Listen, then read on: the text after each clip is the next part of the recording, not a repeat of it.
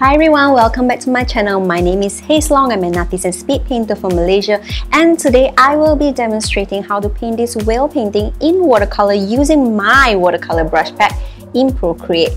So today is a beginner's tutorial for this watercolor brush pack. So there's a lot of instructions and you will learn how to like group colors together and use lots and lots of different brushes. So without any further ado, let's get started. So the first thing you do when you launch your project, you will see these two masks, the moon and the whale mask. So we're going to create a new layer on top of the moon mask and make this a clipping mask. So whatever we paint here will be restrained to the shape of the mask itself. So we're going to use a dual color brush, pick two colors in the color picker for the moon. So this brush will cycle between two colors so the color that you pick will show up more often. So here I have two brown shades and the brown that I pick will show up more often. I start light and then I change the colors again and layer on top again. So you can use any colors that you like up to your creativity.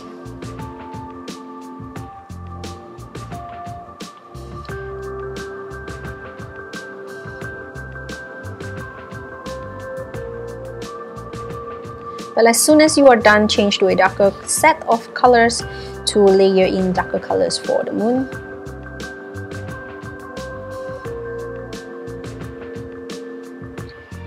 Now we're going to use the bleeding wash brush to create a crater shape here. And we're going to use this brush to color some of the circles. So don't dab when you're using this brush, do it in one continuous stroke. And if you have seen my other watercolor tutorials, if you overlap, it will start to multiply.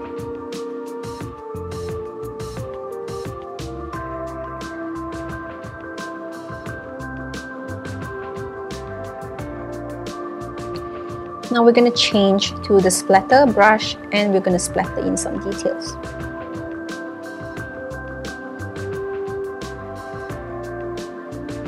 After that, we're going to change to the eraser and white bloom brush. Do this in a new layer or the current layer, anyone. We're going to paint in a light skin color for the highlights in the rest of the craters.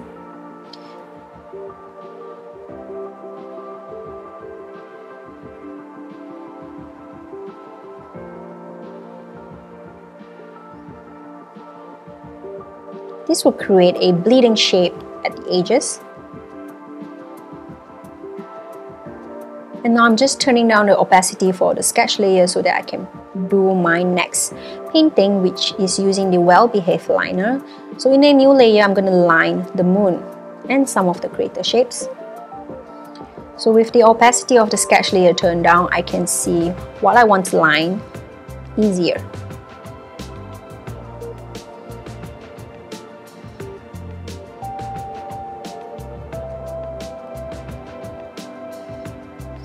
So I'm not doing like a full line, it's like a hit and miss, hit and miss, so that it looks a bit more natural here.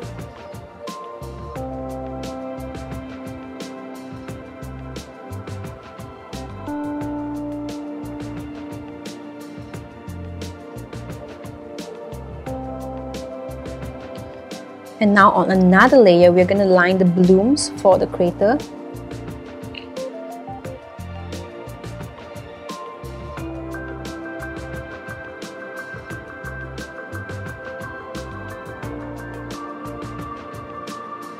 Once we are done, we're going to turn on alpha lock for this layer and we're going to use a regular painting brush to paint in a different color for the highlights area because the highlights area require a lighter color.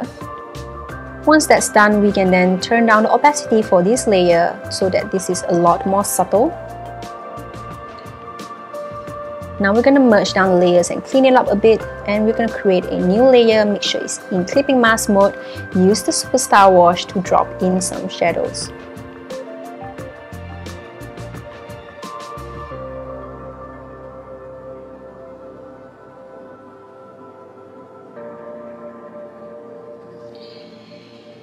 And with that, the moon is done. Now we're going to work with the whale. So for the whale, we're going to do the same thing. we are also going to create a clipping mask here for the whale and we will start to drop in light colors with the bleeding wash brush. So try and get a nice color combo for this step.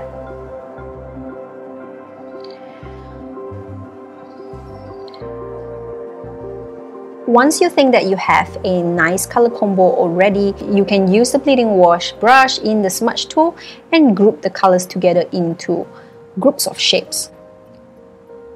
So this is one group.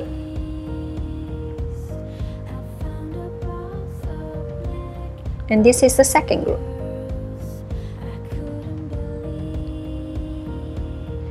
Now on a new layer, we're going to repeat the same thing with slightly darker colors. But when you're putting in the colors this time, bear in mind the colors that are beneath this layer. So you don't want to put opposite colors. Make sure that the colors you put are pretty analogous to the ones below.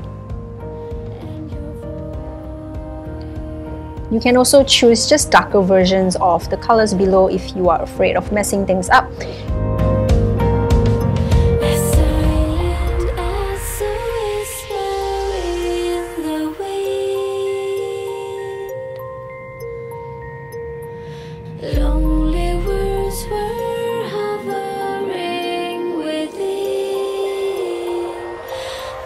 Once you're happy with the colors that you have in this layer, you can smudge to join shapes again. So you can either create new shapes or join with the existing shapes that you already have in the layer before. And don't be afraid to smudge to create bleeding edges. These are all natural watercolor artifacts that are very very pretty and nice. Just have fun joining shapes and make sure that the color combo is nice. Now for the last layer for the colors, we are going to drop in our darkest color and as usual just create a nice color combo and also decide whether to create new shapes or to blend in to the existing ones. But for this layer try and drop in more details with your colors here this time. So here I'm already starting to slightly shade the shadows a little bit using the colors here and also blending into existing shapes at the same time. So this is the first layer that we are actually putting in details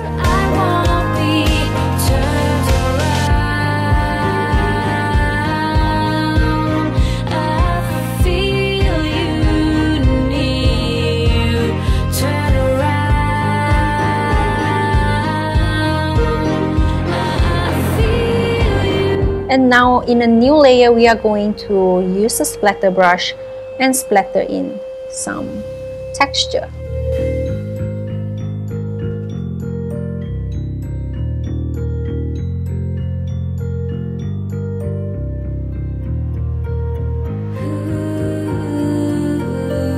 You can also use the eraser to erase away unwanted splatters. Once you're happy with the splatter, lock the alpha for this layer and we are going to change the colors of the splatter now. Again, bear in mind what colors are underneath this layer so that you don't accidentally create a color catastrophe. Once you're happy with your splatter, use the bleeding wash and add in more bleeding edges to the edge of the whale so that it's more natural Now in a new layer, we're going to use the wet liner and start lining the whale itself. Remember to change the colors as you move from color groups to color groups. Don't forget that you can also line around the watercolor splatters as well as the details for the whale.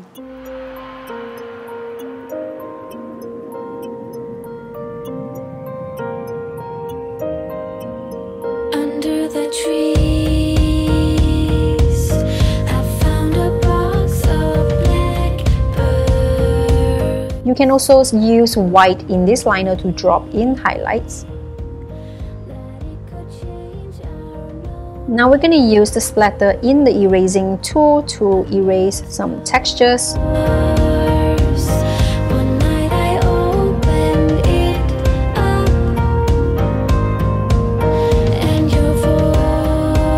Once you're happy with the whale, we are going to move on to the stars. For the stars, use either any of the liner brush or the superstar brush to color all of them first. Once that's done, you can create a clipping mask for the gold to apply the gold to all the stars or you can change the colors of the stars, artist choice.